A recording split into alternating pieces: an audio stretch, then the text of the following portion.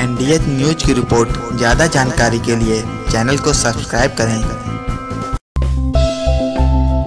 Steel और stainless steel दोनों ही धातु हैं और दुनिया में इस्तेमाल होने वाले आम पदार्थों में से ही एक हैं। ये व्यापक रूप से वाणिज्यिक और उपभोक्ता अनुप्रयोगों के रूप में उपयोग किए जाते हैं।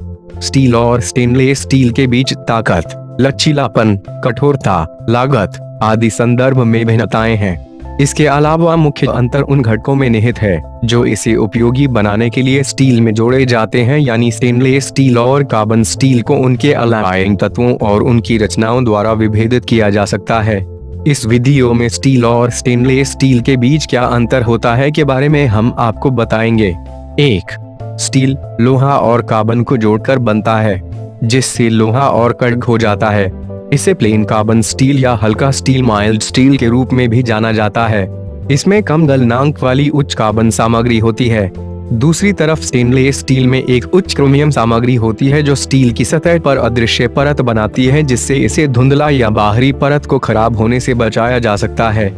दो, स्टेनलेस स्टील में क्रोमियम, निकल, नाइट्रोजन और मोलिब्डेनम आदि मिलाकर तैयार किया जाता है। स्टेनलेस स्टील जंग प्रतिरोधी है और स्टील में ऐसे पदार्थ नहीं होते हैं जिसके कारण उसमें दाग और जंग लग जाता है। स्टेनलेस स्टील जल्दी खराब नहीं होता है। स्टेनलेस स्टील में जंग क्रोमियम के कारण नहीं लगता है। क्रोमियम एक अदृश्य, पतली और पक्षपाती ऑक्साइड परत बनाता है, जिससे स्टेनलेस स्टील की सतह निष्क्रिय हो जाती है। इसके लिए क्रोमियम स्टील में होना अनिवार्य है और साथ ही ऑक्सीजन युक्त वातावरण। यह निष्क्रिय परत नीचे की धातु को हवा और पानी से कवर करके बचाता है।